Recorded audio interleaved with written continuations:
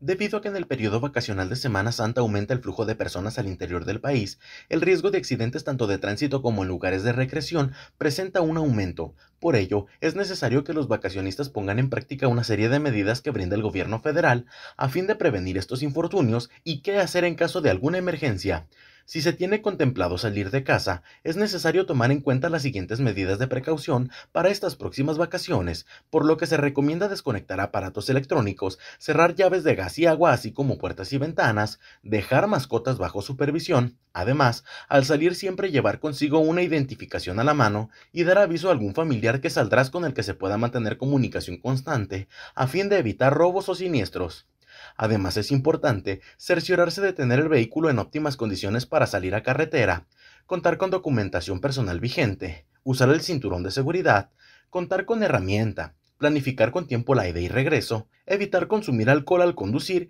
y dormir bien antes de salir. Como punto adicional, se recomienda estar en comunicación constante con sus acompañantes, vigilar la ingesta de alimentos y bebidas y tener a la mano un botiquín de primeros auxilios, informó para Noti 13 Adolfo Jiménez Holguín.